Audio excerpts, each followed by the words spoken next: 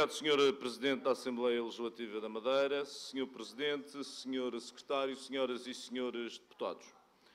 O princípio da continuidade territorial assenta na necessidade de corrigir as desigualdades estruturais originadas pelo afastamento, pela insularidade e visa a plena consagração dos direitos de cidadania da população madeirense, vinculando designadamente o Estado ao seu cumprimento, de acordo com as suas obrigações constitucionais. Está assim definido no Estatuto Político e Administrativo da Região Autónoma da Madeira, na Lei de Finanças Regionais e materializa uma das obrigações constitucionais do Estado, plasmada na linha G do artigo 9, 9 da Constituição da República. Este princípio é complementado pelo princípio da solidariedade, que vincula o Estado a suportar os custos das desigualdades derivadas da insularidade, designadamente no respeitante a transportes, comunicações, energia, educação, cultura, saúde e segurança social. Traduz-se nas transferências orçamentais e deverá adequar-se em cada momento ao nível de desenvolvimento da região, visando, sobretudo, criar condições que venham permitir a uma melhor cobertura financeira pelas receitas próprias.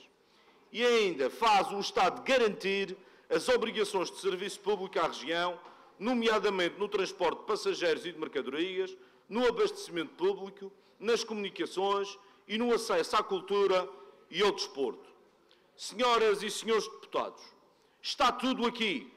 Está tudo previsto na lei, nas diversas leis.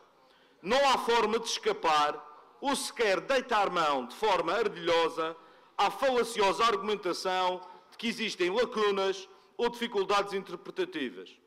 Aliás, só com muita má-fé se pode interpretar as disposições referidas acima de uma forma que impeça a sua aplicação e cumprimento.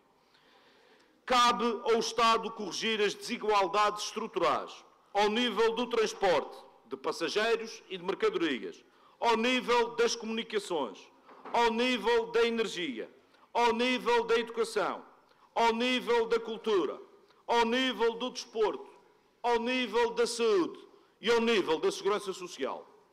Cabe ao Estado defender plenamente os direitos de cidadania das populações insulares. Quem lê todo o preceituado legislativo fica livre de quaisquer dúvidas. Ou pelo menos deveria ser assim. Mas infelizmente tal não acontece. E porquê? Porque não existe vontade política dos decisores nacionais. Falta de vontade que atravessa todo o espectro partidário da nação. É uma mentalidade que não encontra na ideologia uma explicação resulta da deriva ultracentralista de quem olha para o país como se de um simples retângulo se tratasse. Retângulo que só tem alguma dimensão porque existem dois arquipélagos que lhe proporcionam esse prolongamento. Como é possível concluir, esse território nacional alargado não existiria sem estas duas componentes fundamentais. Daí que os constituintes tenham tido a consideração de garantir igualdade de tratamento aos portugueses insulares. No entanto, essa garantia, como é possível constatar, tratou-se de uma intenção que hoje, cuja materialização só se tem concretizado via reivindicações constantes, por vezes extremadas, e, passados 40 anos, todas as concessões têm-nos sido apresentadas como se de favores extraordinários se tratassem. Os nossos direitos de cidadãos plenos são exigências, são condições inerentes a qualquer português, seja ele insular, transmontano, alentejano, extremanho ou beirão. Qualquer tratamento discriminatório é inaceitável e carece de repúdio enérgico e imediato. Mas nada disso tem passado. Temos direito a transporte aéreo a preços decentes e sem malabarismos, ou sistemas e engrenagens complicados. O que aconteceu? Temos um sistema melhor do que alguma vez existiu, mas ainda somos vítimas de constrangimentos inaceitáveis. Sabemos o que queremos, mas há sempre alguém, há sempre algo que impede de o concretizarmos. As explicações e argumentos para impedir que alcancemos a justiça que nos é devida avolumam-se. E quando não encontram mais alibis, remetem-se ao silêncio, não respondem a meros pedidos de reunião, e recusam indelicada e mal educadamente convites para nos esclarecerem e fazem-se esquecidos. O mesmo se repete na ligação marítima, na linha de carga aérea, no Porto Pago, nas dívidas esquecidas nas gavetas do Terreiro do Passo, nos projetos de interesse comum, etc, etc, etc. Para os tesouros nacionais, não somos portugueses de primeira, nem sequer de segunda. Ousam desavergonhadamente beneficiar uma região autónoma em relação à outra, enquanto desbaratam fortunas com PPPs rodoviárias que servem regiões há muito desertificadas, em empresas públicas que apenas servem uma ou duas cidades e em projetos sem qualquer relevância verdadeiramente nacional. Repito e repetirei as vezes que forem necessárias. Apenas queremos aquilo a que temos direito, nada mais e nada menos. Sem enganos e sem esquecimentos. Não se trata de empurrar para Lisboa as responsabilidades. Essas responsabilidades já estão lá e estão desde que temos esta Constituição.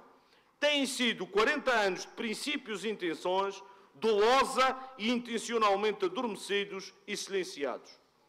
Daí a importância deste debate. Um debate que deve e tem de servir para todos os partidos aqui presentes poderem afirmar de que lado da trincheira estão. Os madeirenses querem saber se estamos do seu lado, exigindo que o Estado assuma, sem hesitações nem dúvidas metódicas, o seu papel de garante da coesão nacional, obedecendo aos preceitos constitucionais e à letra da lei. Ou, ou se, por outro lado, alguns continuarão a prestar a se prestar ao degradante papel de funcionários do Terreiro do Passo, servos acríticos dos senhores feudais, que insistem na justificação e defesa de posições inaceitáveis, ilegais e inconstitucionais, sistemática e repetidamente assumidas por Lisboa.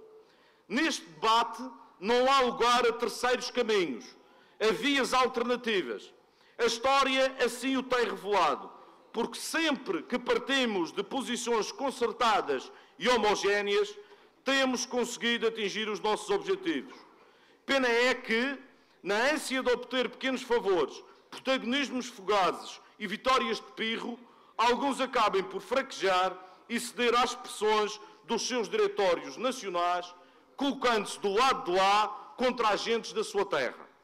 Por isso, para terminar, insto todos nesta casa a convergirem nesta ideia de que apenas estamos a lutar por algo que é nosso por lei, por direito próprio e por dever moral, de uma nação que é constituída por um território peninsular, por duas regiões autónomas insulares e por todas as comunidades espalhadas pelo mundo inteiro. Muito obrigado.